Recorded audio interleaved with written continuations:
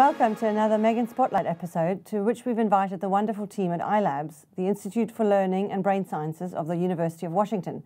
iLabs is a center dedicated to discovering the fundamental principles of human learning with a special emphasis on early learning and brain development.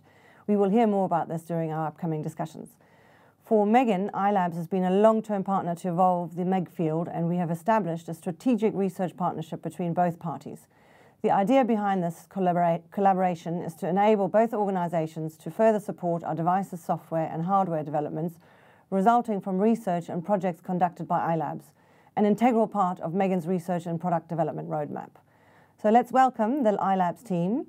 Patricia Kuhl, the co-director of iLabs. We have Samu Taulu, associate professor, as well as Christina Zhao, research scientist who will discuss how MEG aids the team to conduct brain research on infants and young children.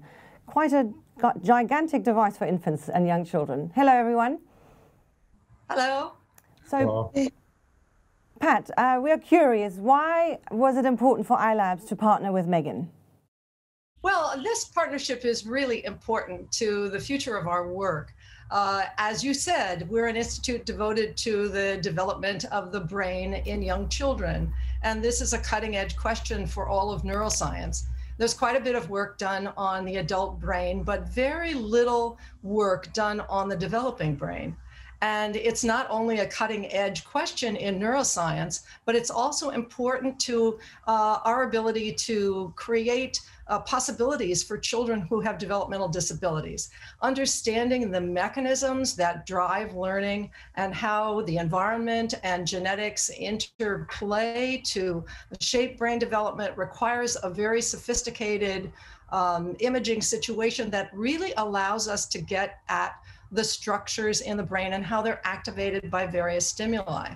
So, when you think about what brain imaging does for us, there are studies uh, already published from our group that illustrate quite clearly why you need brain imaging, uh, and you can't uh, learn the same thing with just behavioral studies. Uh, in 2014, we published a study, for example, showing that when very young babies, six monthers to 12 monthers, listen to speech, it's not only their auditory cortex that's activated, but the motor systems that will eventually allow them to talk back are activated as soon as the child listens to uh, to language. And so that's a question that you could not have answered with behavior. So brain imaging studies are really going to carve uh, a new future for our understanding of the brain and when you look at the possibilities for brain imaging, um, MEG is just the, uh, the method of choice. If you compare it to fMRI, uh, which has spatial resolution capabilities, but no temporal resolution skill, you know, you can't get at the microsecond uh, changes in the brain, um, and it's noisy. Whereas MEG is basically silent, uh, you have good spatial resolution, you have fantastic temporal resolution. So if you're really interested in mechanisms, really interested in how the brain works, this is where you're going to land. So uh, we made that decision in 2010 with our first MEG machine. And of course, we are tremendously excited to understand that you are now building our uh, second MEG machine for iLabs and that it will be installed uh, right around the first of 2021. So we have a lot to look forward to. That's great, thank you. Uh, Sam, we can imagine that um, brain activity is difficult to measure in infants. So how does the use of MEG solve that problem? Well, MEG has several practical and methodological advantages. Like, um, for example, it's very obvious to us that infants don't like long and uh, difficult measurement setups. And the setup of MEG measurements is uh, very, it's quick and it's straightforward. Also, the actual measurement of the magnetic fields of the brain, it's, um, it's safe, uh, it's comfortable, it can even be fun. Um, and um, on the more methodological side, one, practic- one particular aspect in infants is that their so-called electric conductivity profile is changing very rapidly during the early ages of life, which is very problematic, for example, for EEG, uh, which does have the same temporal resolution as MEG, but MEG is less affected uh, by those changes in the conductivity profile. So that's a very big advantage for MEG.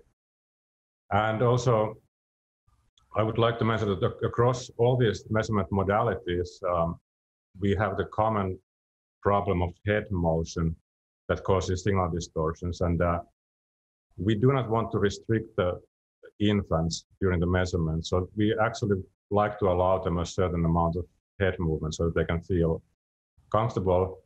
And we have very robust um, head movement um, correction methods uh, that work really well. Um, so our measurements are very robust. Uh, also, it is quite unfeasible to get high quality MRIs from every single uh, individual, especially as a like um, at every month of the first year or so, which might be required for very uh, precise um, determination of the connectivity profile and that kind of things. So also in that case, MEG is quite uh, insensitive to that uh, uh, that uh, challenge. So these are some of the methodological reasons why MEG really is the method of choice for infants. Thank you. Um, it would be interesting to know what other MEG studies you plan or are underway with infants. Well, we have a lot of studies uh, in the domain of language. Uh, we've published quite a bit on phonetic perception. The first learning that babies do is about the sounds that their languages contain and use. Uh, but we've now done studies on initial word learning in 14 monthers, and that's in the publication pipeline, and quite a few studies on the bilingual processing. So, in babies at 11 months who are either being raised in a bilingual family as opposed to a monolingual family, and demonstrating the infant brain's ability to uh, handle both of those languages. And that's a fascinating set of studies that we have already published on. Uh, but we've got new studies going on that explore the world of touch, the effect of touch on the baby brain, and looking at the body map in the baby brain and how that's related both to social processing eventually and the kind of understanding that when babies use their bodies to cognitively uh, understand the world. So that's a relatively new line of work that's published. Uh, preliminary findings are published, but uh, that's going to be a sleeve of work that we're going to be very excited about. And uh, we're really happy about the work that Dr. Christina Zhao has done uh, using music as a stimulus, because that has produced some surprises about the effects of music experience on the baby brain. So maybe Christina will tell us a bit about that. Well, thank you, Pat. Um, so, as uh, following Pat and Samu's point, um, our line of research that looks at how music experience affects the early development of human brain uh, goes hand in hand uh, with the theory, theoretical development, and as well as the MEG method advancement. So our original study that was published in 2016 uh, demonstrated a very important effect of um, early music intervention on infants' brain. And that is we randomly assigned nine-month-old babies uh, into either completing a one-month lab um, laboratory controlled music intervention versus a control group. And um, these music intervention babies came into the lab and uh, they do musical activities. We synchronize their movements with the musical beats. And while the control group came to the lab for the same amount of time, but just did um, free play. And after a month, we used MEG to measure their ability to both process music rhythm as well as speech rhythm. And um, what we found was that um, this one month experience not only enhanced the infant's ability to process music rhythm, but also speech rhythm. More importantly, with the spatial resolution of MEG, we were able to examine the effects at specific cortical regions. So what we found was that the enhancement was not only in the auditory region that you would normally expect, but we also found um, enhancement in the prefrontal regions where um, higher level cognitive skills are normally inferred in these regions, such as um, the ability to switch attention or inhibit. And so we think this has um, great implications for future research. And um, now with the more uh, advancement in MEG methods to allow us to look at deeper and earlier sensory encoding of sounds, we are currently diving deeper to look at how uh, music intervention affects these earlier processes and how uh, that's the relations um, is with cortical mechanisms. And investigating these questions will allow us to further understand the more comprehensive picture of how music early in baby's life could affect neural development. That's really fascinating, I have to say. What is the uh, future then of MEG? What can you imagine doing in the future? Well, I mean, we're very focused in our, our studies at the moment on various brain areas. As Christina mentioned, uh, seeing that music affects prefrontal cortex is really interesting. And in my studies on speech, looking at how the motor system is involved in perceptual processes early in development. So these areas have been a primary focus. But now we're interested in the connectome. Of course, we want to see how these areas are connected. So these areas are talking to each other in the brain. So using MEG, either through resting state or other more modern uh, modeling methods to understand the connectivity, the networks that are involved in the infant's processing of complex information, cognitive, uh, social, linguistic information. That's a, a highlight of our future studies. The other thing that we're doing at iLabs, the nice thing about having an institute with many, many different uh, people with, with different skill sets and different training, is we're now very focused on multimodal imaging. So now not only with babies, but with teenagers between the ages of 9 and 19, we are using a plethora of, of measurement techniques and combining the data. So it's not only MEG processing that we're looking at, but the MRI data that shows you know, diffusion tensor imaging and even spectroscopy, uh, the myelination that's uh, forming in various areas of the brain. So the connectivity that we can see, the structural measures and functional measures we can do with MRI combined with MEG and then combined with genetics gives us an incredibly powerful tool, a real arsenal of approaches to understanding development.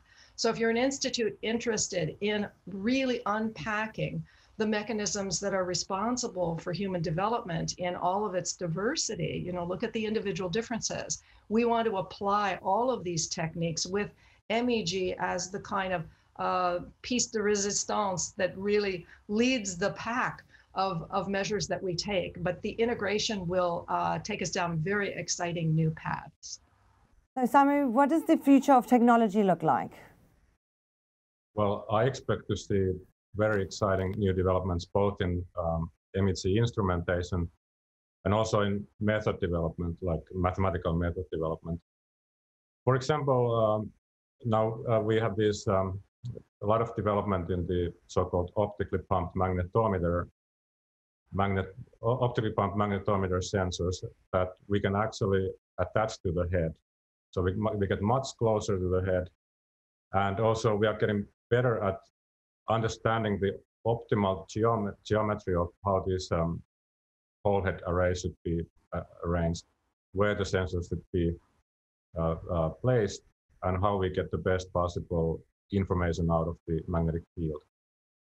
And um, also, for example, in network analysis, which Pat already mentioned, we are seeing new developments in, in the mathematics of, of these um, algorithms, for example, in uh, novel machine learning methods, and also many other kinds of pattern recognition and things like that.